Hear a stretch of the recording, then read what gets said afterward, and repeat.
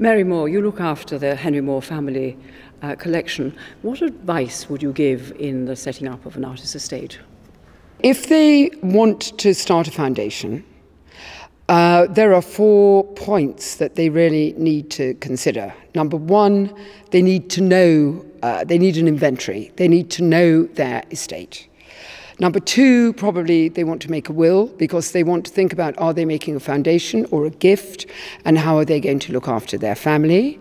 Number three, they probably need tax planning they need lawyers, and they need to write or have the artist, if he's still alive, write some kind of manifesto which would be the guiding, which will be the guide, as it were, to what their foundation or estate is intended to do.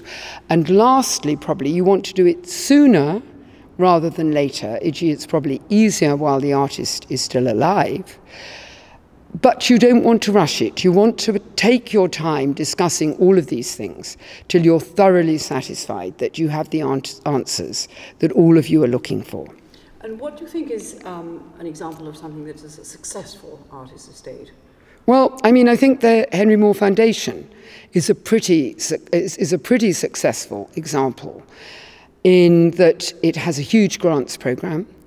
It's managed to maintain its presence at the artist's home and uh, it has a contemporary presence in Leeds. Um, it, it puts on exhibitions, it cares for the work. I think it's a pretty good template, even now, but every single artist has, a, has different needs, and every single different one, every single different artist will make a very different estate plan or estate. And how have you found the conference so far? Um, I think the conference is fascinating. I think uh, for everybody attending it, uh, the delegates as well, there'll be a tremendous amount both in the conference room and in the social gatherings afterwards, an exchange of knowledge, an exchange of views and ideas, which will be immensely important.